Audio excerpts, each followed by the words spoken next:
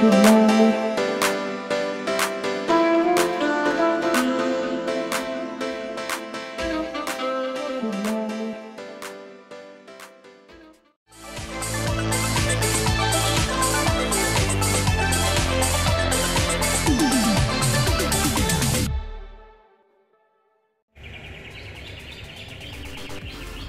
Momentum Idul Adha 1443 Hijriah 2022 ternyata membawa berkah bagi pengusaha tusuk sate di Kabupaten Tuban.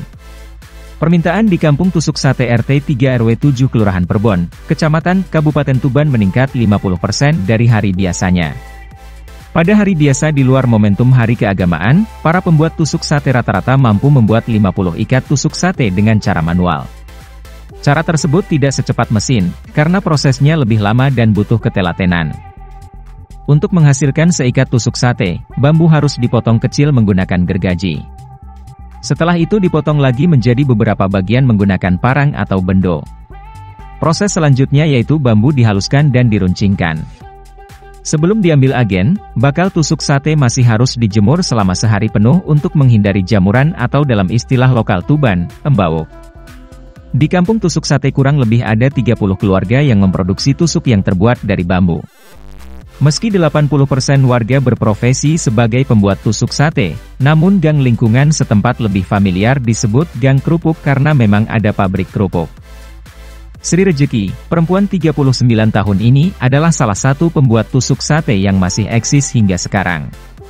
Ia bersama ibunya Sumarni, yang usianya sudah 60 tahun itu, di Hari Raya Kurban ini telah menerima pesanan 100 ikat dari toko terdekat. Perempuan ramah itu, telah mulai belajar membuat tusuk sate saat usianya belasan tahun dari ibunya. Keahlian tersebut merupakan warisan keluarga dan mampu menjadi penghasilan harian keluarganya. Sedangkan Sumarni di usia senjanya juga nampak terampil menghaluskan bakal tusuk sate. Meskipun tenaganya tak secepat anaknya, namun ia sangat telaten dan tusuk sate buatannya sangat halus.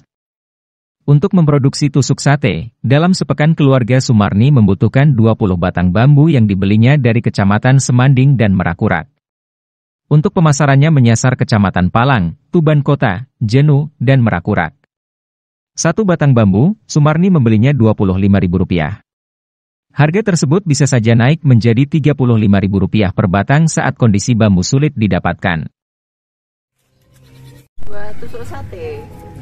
Ini sehari bisa buat berapa ini? Kurang lebih 50 ikat.